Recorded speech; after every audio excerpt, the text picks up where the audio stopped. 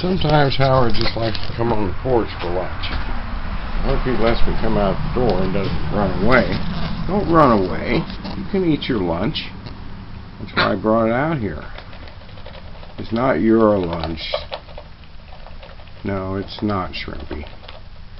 You're a nervous little duck. You and Fiona, Nigel. Yeah, he's eating.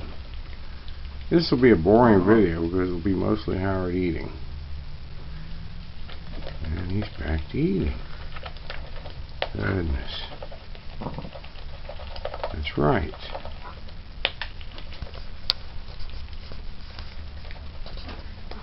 You are such a good eater. Always room in the goose for a little more.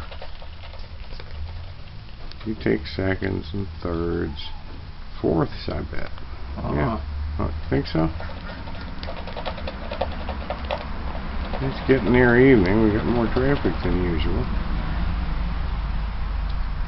Three cars. Boy, that's a lot. Must be going home from work. Have a drink.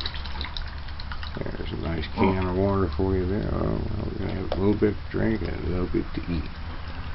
Well, this is Howard having lunch on the porch. Well, actually, it's a late afternoon tea time kind of thing he's eating here.